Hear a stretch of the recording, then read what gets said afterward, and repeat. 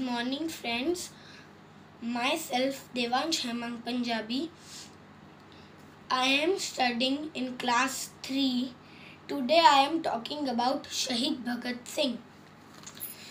Bhagat Singh was Bhagat Singh was born on September 28, 1907 at Banga village in Punjab. His father, his father Kishan Singh was freedom fighter, uh, freedom fighter, and his mother and his mother Vidyavati was housewife.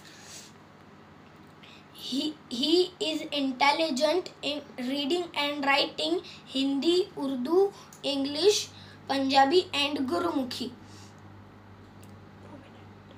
He, he was prominent freedom fighter of India. The British government hanged him on March 23rd in 1931 with Sukhdev and Rajguru.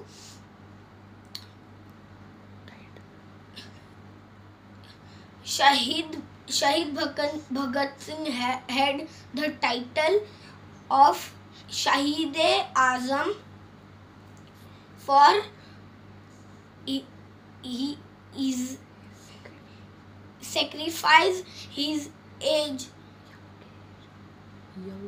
Young age.